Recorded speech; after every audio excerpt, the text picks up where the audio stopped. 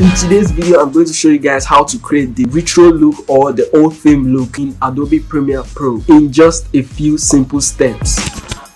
Hey guys, if this is your first time seeing my channel, please kindly hit the red subscribe button and give this video a thumbs up so I'll be able to make more videos. You know what I'm saying? Support the channel by subscribing and liking the video. If you need any other tutorials, kindly go down to the comment section below. And hey, all the assets used in this video are linked in the description, so kindly check it out. Before we get into the video, I want to give a shout out to, to Go Here and There. He's been a good subscriber. He has been following my channel for some time now. I appreciate that, mate. So if you want to get a shout out on my next video, just go down, comment on this video and you stand a chance of having a shout out in my next video. If you are a returning subscriber, thank you for coming back. I appreciate that. Keep watching. Okay, now we are inside of Adobe Premiere Pro.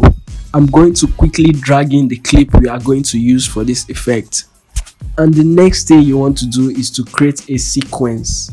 I'm going to be using the presets that comes with Adobe Premiere Pro. I'm going to be using the ARRI 1080p24. Name it whatever you want. For this tutorial, I'm just going to name it Retro Effects. Now our timeline has been created. And remember, this is my personal preference. You can use whatever sequence settings you like. Double click on the footage we dragged in earlier and create our in and out points. After that, drag it into your timeline. And if you see this pop up, click on keep existing settings.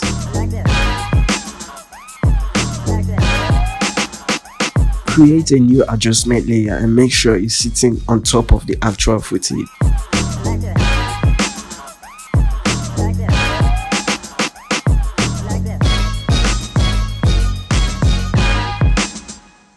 Now go to your effects panel and search for Lumetri color. Drag it into your adjustment layer.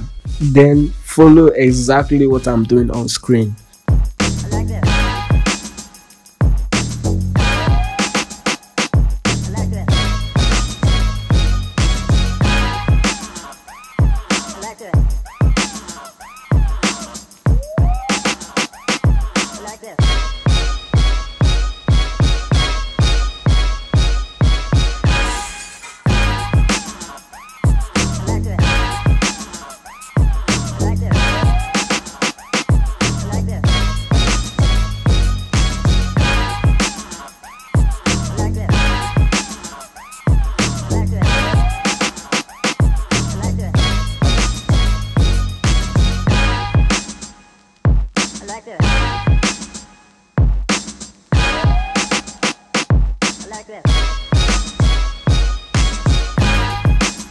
Now I'll go back to my file and drag in all the assets I'm going to use on this video.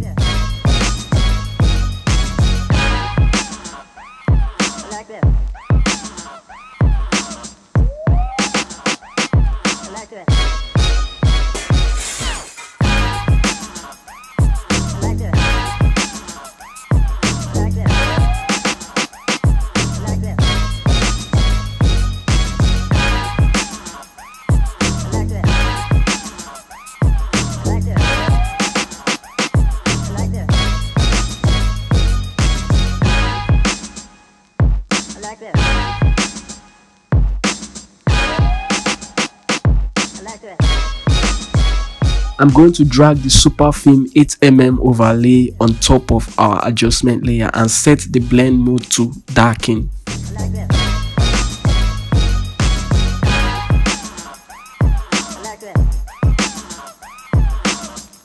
I'm going to drag up this overlay so I'll be able to put more effects under this overlay.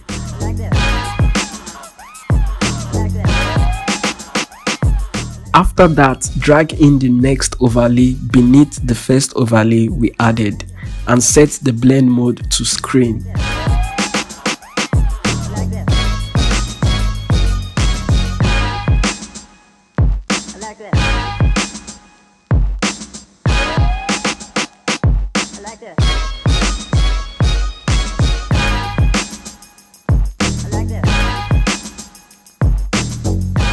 For the third overlay i'm going to do pretty much the same thing just like the previous one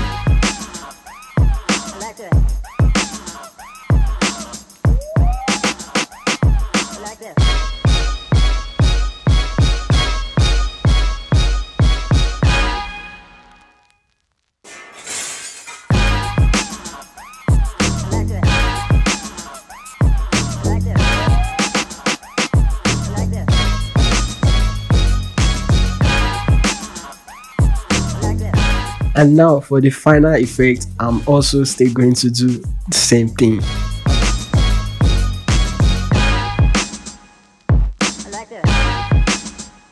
The clip is short so i'll just duplicate it a uh, few times just to get the effect going throughout the whole video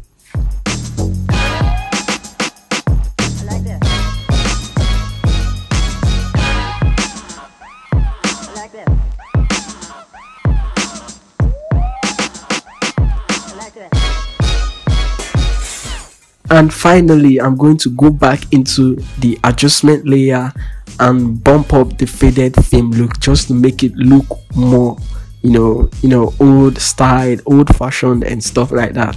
So that's that's everything. That's the final thing you're going to do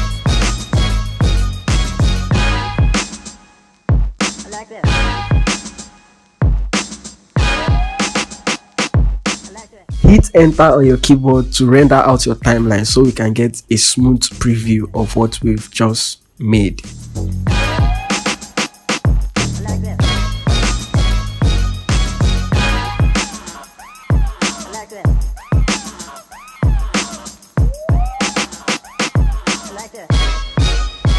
That's it for this video. If you learned something new don't forget to hit the red subscribe button down below and turn on the bell notification so you get notified whenever i upload a new video. Thank you for watching up to this point and i'll see you guys in the next video. Peace